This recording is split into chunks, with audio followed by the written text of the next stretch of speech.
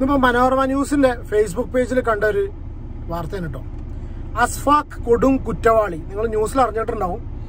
ആലുവയിൽ അഞ്ചു വയസ്സുകാരിയെ കൊലപ്പെടുത്തിയ അസ്ഫാഖ് ആലം പോക്സോ കേസ് പ്രതി. രണ്ടായിരത്തി പതിനെട്ടിൽ യു പിയിൽ പത്ത് വയസ്സുകാരിയെ പീഡിപ്പിക്കാൻ ശ്രമിച്ച കേസിൽ പ്രതി. അന്ന് ജാമ്യത്തിൽ ഇറങ്ങിയ ശേഷം സുഖസുന്ദരമായിട്ട് ഗോഡ്സ് ഓൺ കൺട്രിയിൽ ഏറ്റവും സൗകര്യങ്ങളോട് കൂടി സുരക്ഷിതമായിട്ട് കഴിയാൻ വേണ്ടി മുങ്ങി. ഇതാണ് ഇപ്പൊ ഇന്ന് വന്നിട്ടുള്ള ന്യൂസ്.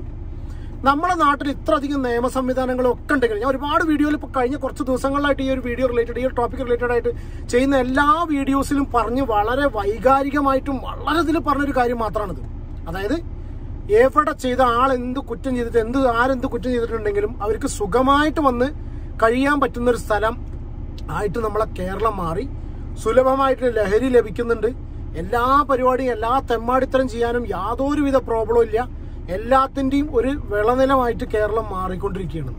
ഈ ഒരു ഒറ്റപ്പെട്ട കേസ് എന്നുള്ള രീതിയിൽ ഇത് തള്ളിക്കളയാൻ പറ്റില്ല. ഈ ഒരു കേസ് എടുത്ത് വെച്ച് മാത്രം പറയല്ല. എന്തെങ്കിലും ഒരു പ്രശ്നം വരുന്ന സമയത്ത് ഇതിലേക്ക് നോക്കുമ്പോഴാണ് നമ്മുടെ നാട്ടിലൊരു സംവിധാനങ്ങൾ ഉണ്ടായിരുന്നില്ല. ഇപ്പം ആലുവ മാർക്കറ്റിൽ നോക്കുമ്പോൾ ആ സമയത്ത് ആ സമയത്ത് ആ കുട്ടിയെ കൊണ്ടുപോയപ്പോൾ അവിടെ സി സി ടി വിയോ കാര്യങ്ങളോ നിരീക്ഷണമോ ഒന്നുമില്ല.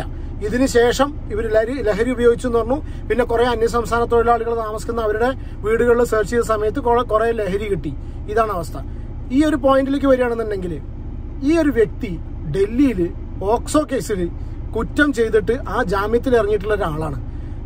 എന്താ കഥ? ഏഹ് നമ്മുടെ നമ്മുടെ നാട്ടിൽ നാട്ടിലൊരു സെൻട്രൽ സിസ്റ്റം ഇല്ല ഈ കുറ്റവാളികൾക്ക്? എന്താ പറയാൻ കാരണം? ഞാൻ ഇപ്പോഴും ചിന്തിക്കാറുണ്ട്. നമ്മളെ നാട്ടിലൊക്കെ ഓരോരുത്തർ വന്ന് താമസിക്കുന്ന സമയത്ത് ആ ഏരിയയിലുള്ള ലോക്കൽ പോലീസ് സ്റ്റേഷൻസിലൊന്നും ഈ നിയമ സംവിധാനങ്ങൾക്കൊന്നും ട്രാക്ക് ചെയ്യാൻ യാതൊരു യാതൊരു വഴിയില്ല അവർക്കൊന്നും കാരണം ഇവിടെ ജീവൻ നഷ്ടപ്പെട്ടിരിക്കുന്ന വെറും അഞ്ചു വയസ്സ് മാത്രമായിട്ടുള്ള ഒരു കുട്ടിയാണ്. ഇത് ഇവൻ ഇനിയിപ്പോ ഈ ഒരു സംഗതി ഈ ഒരുത്തനെ പിടിച്ചുകൊണ്ട് മാത്രം തീരില്ലല്ലോ. ഇതുപോലെ എത്രയോ സൈക്കോകൾ നമ്മളെ നാട്ടിൽ ഇപ്പൊ ഇന്നും വിലസിക്കൊണ്ടിരിക്കുകയാണ്. ഈ ഒരു അഷ്ഫാഖിനെ മാത്രം പിടിച്ചതുകൊണ്ടോ അല്ലെങ്കിൽ ഇവനെ കുറെ ഇതാക്കിയിട്ട് ഇവനെ കുറെ ശിക്ഷ കൊടുത്തു ഇനി അല്ലെങ്കിൽ ഇവനെ നാട്ടുകാരുടെ ഇടയിൽ കിട്ടു നാട്ടുകാർ തല്ലിക്കൊന്നു ഏഹ് ഇതാണെങ്കിൽ പോലും ഈ ഒരൊറ്റ വ്യക്തി ഇങ്ങനെ ചെയ്താൽ പോലും ഈ ഒരൊറ്റ വ്യക്തിയിൽ തീരില്ലല്ലോ. ഇതുപോലത്തെ ഒരുപാട് സൈക്കോകൾ ഉണ്ടായിരിക്കും.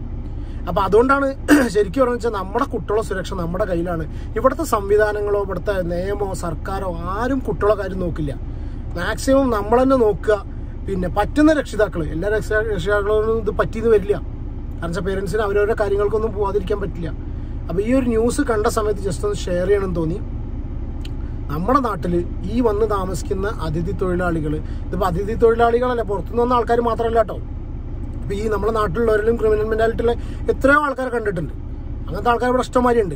ഏഹ് അതല്ല ഈ പുറത്തുനിന്ന് വന്നിട്ട് ഈ കുറ്റം ചെയ്തിട്ട് തിരിച്ചു പോകുന്ന ആൾക്കാരുണ്ടല്ലോ. അവർക്കൊന്നും യാതൊരു പ്രശ്നമില്ല. ഇവൻ അവിടുന്ന് പെട്ടെന്ന് കടന്നു കളഞ്ഞിട്ടുണ്ടെങ്കിലോ ഇവരെ ഇവിടുന്ന് പിടിക്കും? പിടിച്ചെന്തെങ്കിലും ചെയ്യാൻ പറ്റും ഇനി പിടിച്ചു കഴിഞ്ഞു. പിടിച്ചെന്തെങ്കിലും ചെയ്യാൻ പറ്റും ഇപ്പൊ രാവിലെ ഞാൻ ആളൂരിന്റെ വീഡിയോ ചെയ്തിരുന്നു. അയാൾ കാര്യം പറയുന്നുള്ളത് അതൊക്കെ ഈ ഒരു കേസിൽ യാതൊന്നും ഇല്ലാത്തതുകൊണ്ടായിരിക്കാം പക്ഷെ ഇവരൊക്കെ ജയിലിലിട്ടു. ജയിലിട്ട് കഴിഞ്ഞാൽ ക്യാപിറ്റൽ പണിഷ്മെന്റ് കിട്ടുമെന്ന് വിചാരിക്കാം. അതൊന്നും കിട്ടുന്നില്ല അതൊക്കെ കുറെ കാലം കഴിയുമ്പോൾ തേച്ച് മാച്ച് പോകും ഒരുത്തിന് ഉള്ളിലൊരുത്തൻ കിടക്കണ്ടല്ലോ ഗോവിന്ദസ്വാമി. വെരി ബാഡ് സിറ്റുവേഷൻ എന്ന് പറഞ്ഞാൽ നമ്മുടെ നാട്ടിലെ സിറ്റുവേഷൻ വേഴ്സ്റ്റ് ആയിക്കൊണ്ടിരിക്കുകയാണ്. അതിന്റെ ഒരു ഉത്തമ തെളിവാണ് ഇന്ത്യ ആണെങ്കിലും കേരളത്തിലാണെങ്കിലും ഇത്ര അധികം ഒരു കുറ്റവാളി ഒരുത്തൻ. ഇനിയിപ്പം മാത്രമാണോന്ന് അറിയില്ലല്ലോ. ഇതുപോലെ എത്ര ആൾക്കാരെ ഒളിച്ചിരിക്കുന്നുണ്ടാവും കഷ്ടമാണ്.